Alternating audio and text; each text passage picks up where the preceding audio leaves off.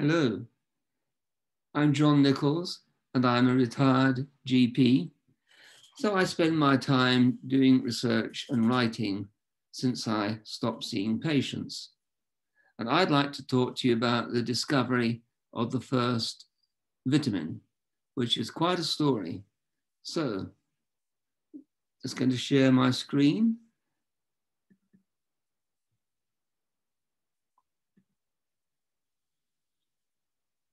So how was the first vitamin discovered?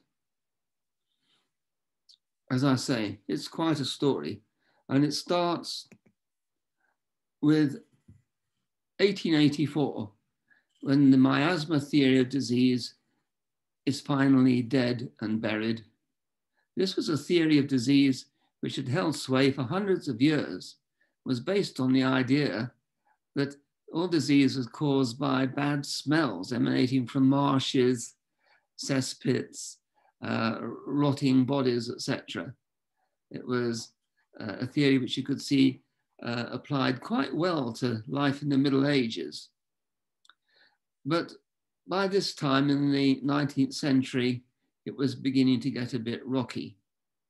And this was a paradigm shift, and call it paradigm shift number one, the germ theory of disease was established with the help of Louis Pasteur and Robert Koch in particular. They discovered that uh, wound infections, tuberculosis, cholera were all due to germs. And Koch postulates his four rules of proving that you had found a disease caused by germs are these four postulates here. But most important of all is this one the specific disease must be reproduced when a pure culture of the bacteria is inoculated into a healthy, susceptible host. And by a susceptible host, it almost certainly meant uh, an animal model of some sort, because you didn't want to take big risks with human volunteers. So, what do I mean by a paradigm shift? Well, this was spelled out by the American physicist Thomas Kuhn in 1962 in his book, The Structure of Scientific Revolutions. For hundreds of years, normal science uh, chugs along. And in this case, it's the miasma theory of disease. It seems to fit the bill there are pre-science ideas, rather fringe ideas that uh, there may be uh, tiny little invisible creatures hovering in the air that cause disease. And most serious doctors and scientists dismiss this as um, like believing in ghosts and uh, superstition. So this was dismissed as pure superstition and the miasma theory, as I say, carried on for hundreds of years. But by the 19th century, the miasma theory was beginning to get a bit shaky as what's called model drift. And some of these pre-science ideas were filtering in. And then the microscope was invented and you could see these tiny little creatures that were invisible to the naked eye. And this caused a model crisis. The miasma theory, still believed by many people, became even more shaky, followed by a model revolution and a paradigm change to a new paradigm, which is the germ theory of disease. So you have a complete paradigm shift. It takes time, but we've got there. Now, another paradigm shift, and this is where the first vitamin is discovered. So I had to give you the background because Christiaan Eijkman was a, a Dutch military doctor who uh, was part of the race to find the germ that causes beriberi. He believed it was a germ. Nearly everybody else believed it was a germ. Some people said, no, no, it's something to do with nutrition, but it was all rather vague. And this germ theory of disease was what now held sway, you see. So he was sent to uh, a military colony, Dutch colony in Sumatra. It's a military hospital with soldiers dying of beriberi. Beriberi is a very unpleasant disease. Um, you get muscle wasting, lassitude, and then your lower limbs start to swell up, your legs swell up, and you get breathless and you go into heart failure, and your lips go blue, and then you die. He found a good animal model. And this was the susceptible host was the hen.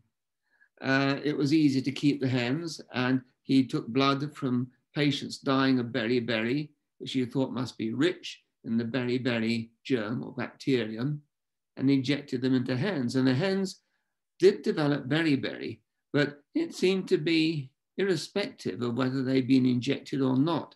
So he was trying to puzzle this out for about a year when suddenly in 1889, all the hens got better. And he couldn't understand why. So he talked to his hen keeper and said, You must have some idea what's changed in, in our hens to make them suddenly all get better. This is, this is a clue that it, it's got to be very important.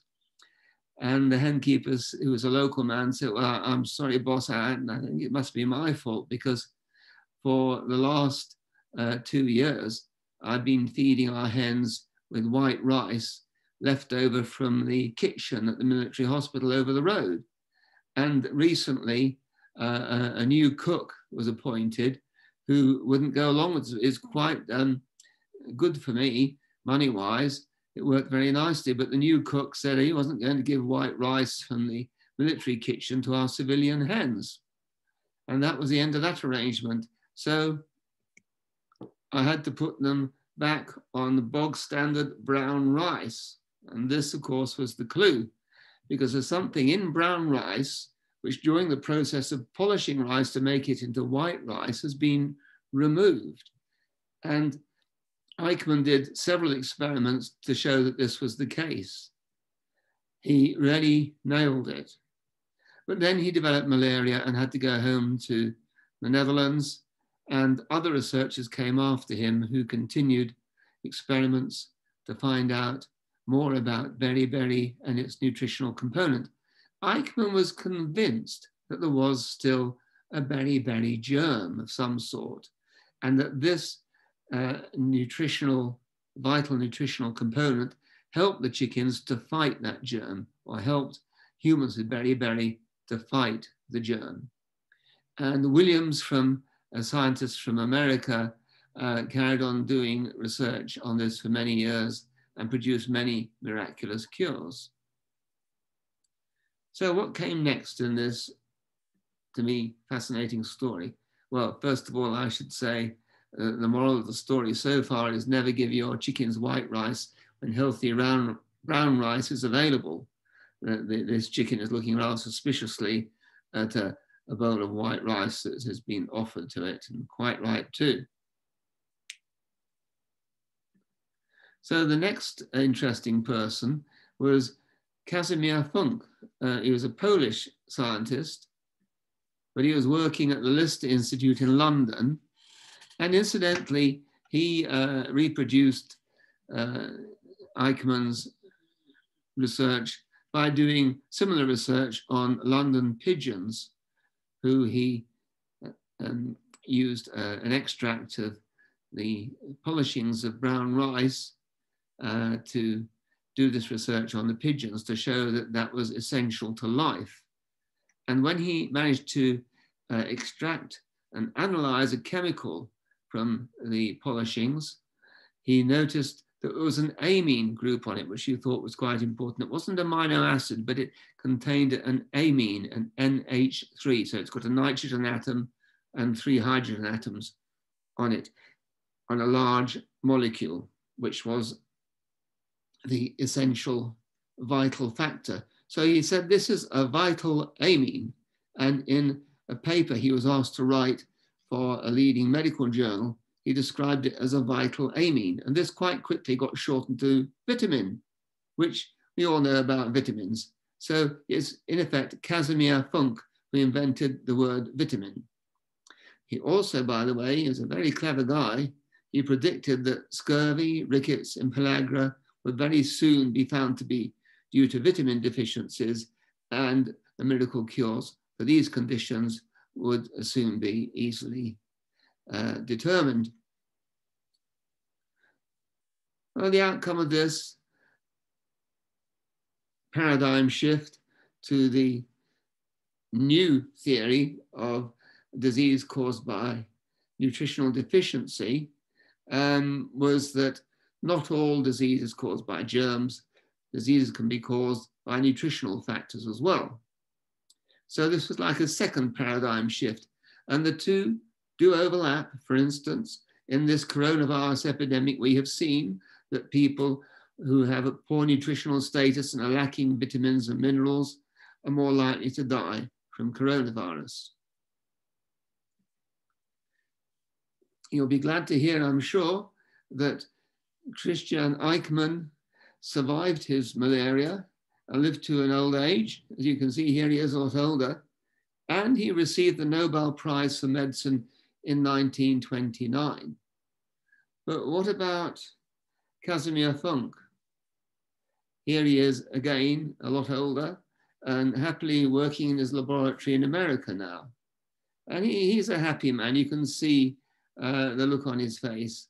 But I'm afraid to say, although he was nominated for a Nobel Prize four times, he never received this award, which I think he definitely deserved.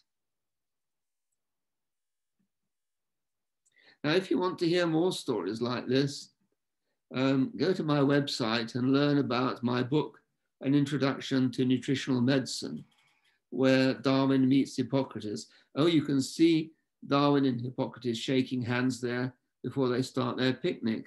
They meet on a, a grassy hillside in what seems a bit like heaven to them, but it's not quite right for heaven. It's a bit odd.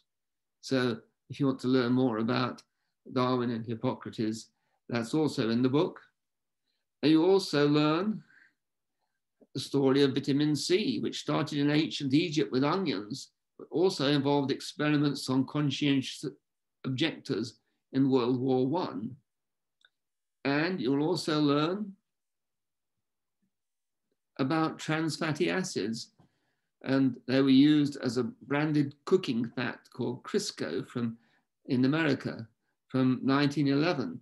And it wasn't until 1993 that the harmful effects of trans fatty acids in, in cooking and industrial production of food was fully recognized, a major cause of diseases, heart disease, diabetes, and stroke. So, um, if you want to buy my book, uh, please go to my website and you'll find many more stories like this. For, for now, I have to say goodbye.